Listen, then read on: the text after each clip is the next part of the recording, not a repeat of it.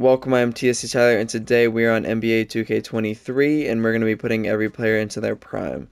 Now, this is something that we have done, I believe it was last year with 2K22, but it's a little bit different this year. Uh, players have changed teams, and overall, it's a little bit more drama than I remember last time. So let's go ahead and go over the teams, and then I'll kind of explain what I'm talking about.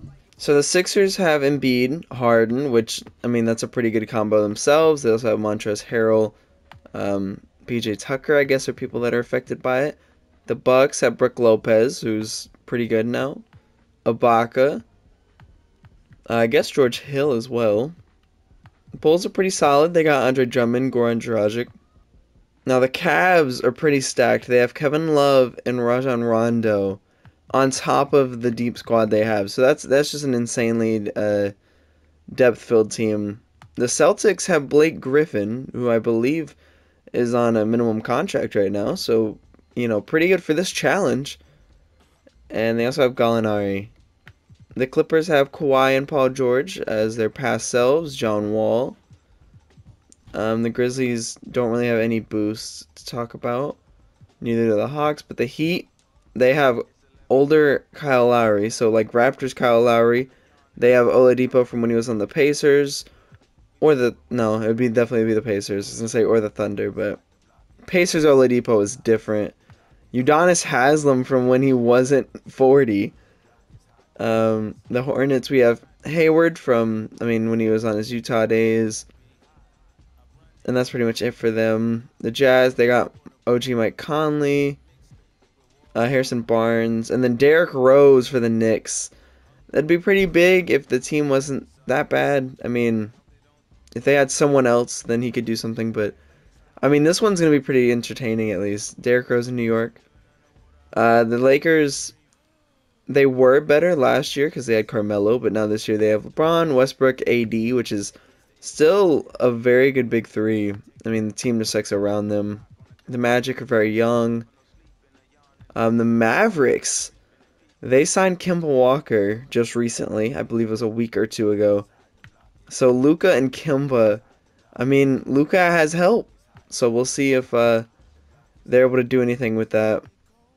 Uh, the Nets have Kyrie, KD, Ben, before he got nerfed, TJ Warren. Um, the Nuggets have DeAndre Jordan, which um, that's pretty good. Uh, Jokic has a little bit of help. I mean, might have to run him at the four. I'm not sure, but I think they'll figure it out. The Pacers, uh, not really anything. I think Buddy Hield is just a slight boost. Uh, Pelicans, I think, same. CJ just has a slight boost. Pistons are young. The Raptors, I think I'm not missing anything. The Rockets are very young, except for Eric Gordon, who is not that good of a boost.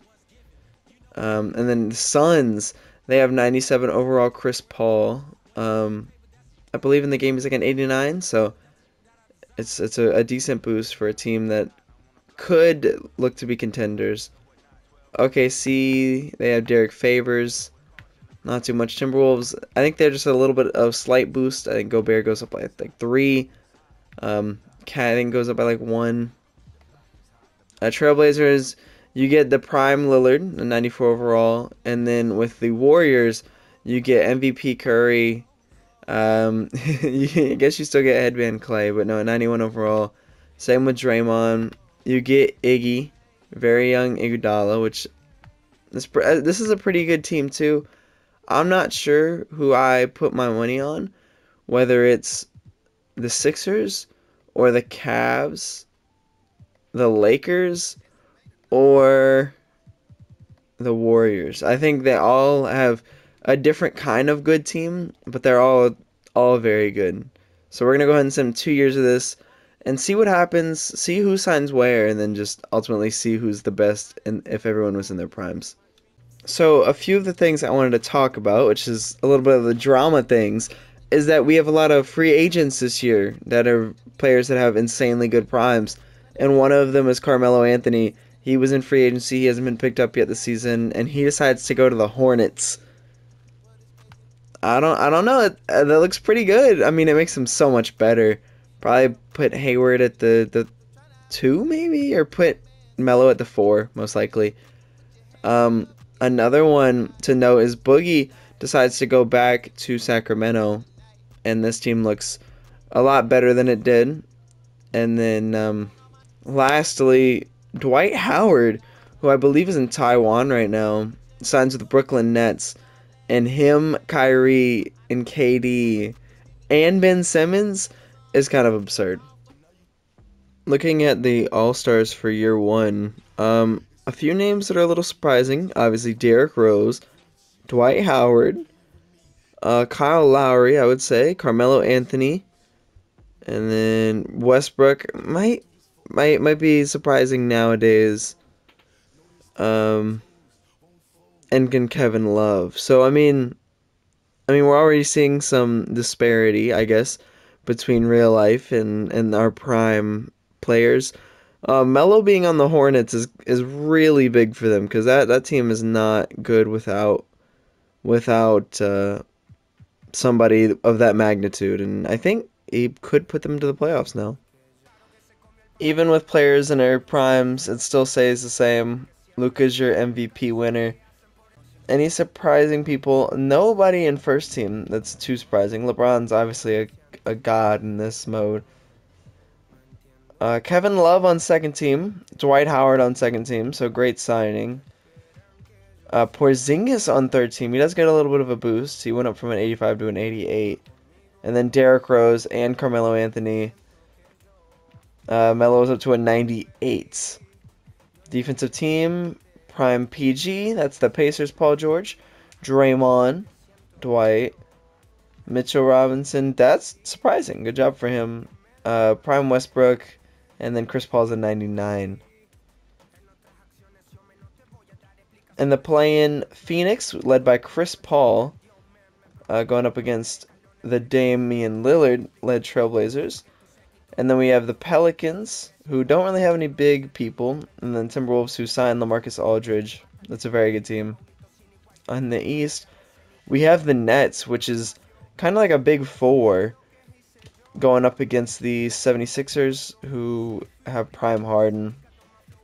And then we have the Knicks, which is Derrick Rose versus um, Carmelo Anthony. So I'm interested to see who actually makes it. Timberwolves get eliminated, Knicks get eliminated, Trailblazers and Sixers get eliminated. So the Hornets win two games and make it in, and the Nets make it, and then the Suns and Pelicans make it. Some interesting things. The Pacers are the one seed with no 90s. They have Joe Johnson, sure, but no 90s. Uh, the Clippers, I would say, are not the best team in here, but still a very good team. Um, Lakers with their big three are the four seed. Anybody who did worse than I expected, we can go check the standings. Uh, no, not from what I see so far. The Kings had Boogie, didn't make it. That's no biggie. The Timberwolves, I mean, they had a really bad season for how good their team is.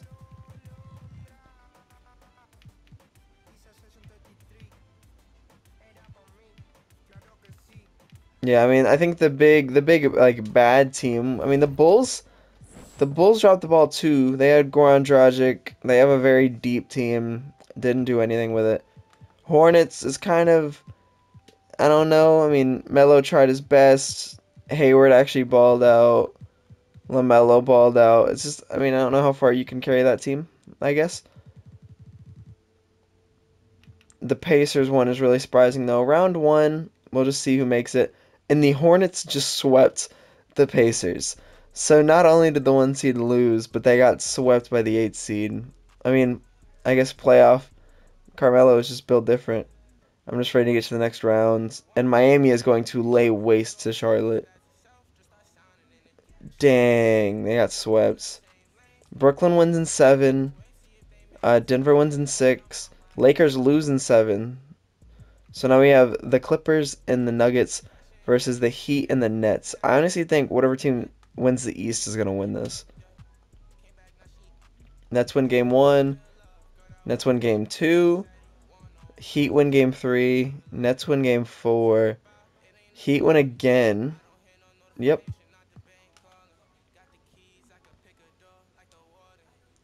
I think if the Heat win, this goes to seven, right? and they look like they're going to win. It's not that close. And it's because of Oladipo and Jimmy Butler gets a triple double. And we're going to game 7 over here. Looking at the other side. Oh, I simulated the game. No! So we have the Nets versus the Clippers. John Wall and Kyrie. What team do I think is going to win this? I think it's got to be the Nets, which that'd be a pretty good story. They were the seventh seed. Nets take game one and two. Clippers take three. Nets take four. And it's not over, but the Nets win the championship. And Dwight Howard, who is in free agency, is your finals MVP. First thing interesting would be Kemba leaving, uh, and going to the Jazz, teaming up with Conley and Markkanen. And Melo joins the Pacers with Halliburton, which that might not be the worst move.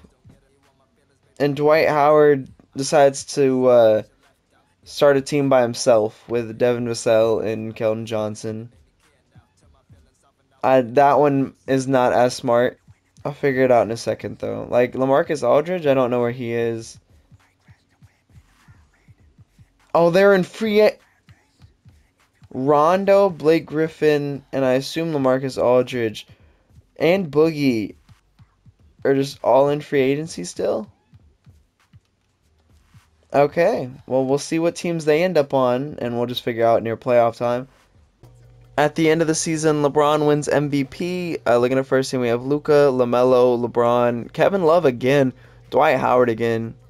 Second team, Carmelo, who yeah is on the Pacers with Halliburton, kind of scary. Jokic, Shai, Westbrook, Harden, Ja, KD, Giannis, Bam. Hornets make it through. Timberwolves make it through, Warriors make it through, Nets make it through. Round one, we'll see if any surprises happen. Grizzlies, I think, get swept by the Mavericks. Nets get swept by the Celtics. Thunder lose to the Nuggets. Warriors lose to the Clippers. Sixers lose to the Mag the Magic. Um, the Bucks lose to the Pacers. The Hornets lose to the Cavaliers. Timberwolves lose to the Lakers. In seven, might I add. Any surprises? Yeah, I, I have one. The Magic. The Magic of LaMarcus Aldridge. I mean, sure, this team has just developed greatly. I, I guess they got Reggie Jackson too. And Boston murdered the Magic. Mavericks lose. Yeah, obviously. Wait, no. Oh, Mavericks lost to the Lakers in five. Um, the Clippers lose in six to the Nuggets, and the Pacers win in seven against the Cavaliers, which is actually very surprising. So now we have Al Horford leading the way, Melo leading the way on the other side. Then we have Westbrook, LeBron, AD, Cousins against DeAndre Jordan. Boston game one, Pacers game two. Pacers game three. I want to see if Melo did anything here. I mean, yeah, decent stat line. Game four. We'll see if. Oh, Horford got a double double. Watch out. Boston wins game five. Indiana wins game six. And the Lakers beat the Nuggets to advance. We're very close. Is there a chance we jump in? No, there's not. The Pacers murder them. And it's Halliburton and Westbrook who are your MVPs. I mean, Melo gets a a double double. Buddy Hield goes crazy. And in the end, Horford just didn't do enough, you know? Lakers Pacers, I have no idea who wins, but whatever side wins is a W for the prime teams because I mean it's either Melo wins or Westbrook wins. So Lakers take game one. Pacers are big time underdogs, and they're up 2-1, 3-1. I mean, we know it's LeBron. There's a chance. And the Pacers win in five. Halliburton and Melo. That's that's insane. I hope you enjoyed. Um, I'm surprised by the results. Uh, the Nets and the Lakers. Well, I mean, teams that you would expect to win the title normally, maybe. Um, yeah, no, I I think it was really cool. Um, I hope you enjoyed, and I'll see you all next time.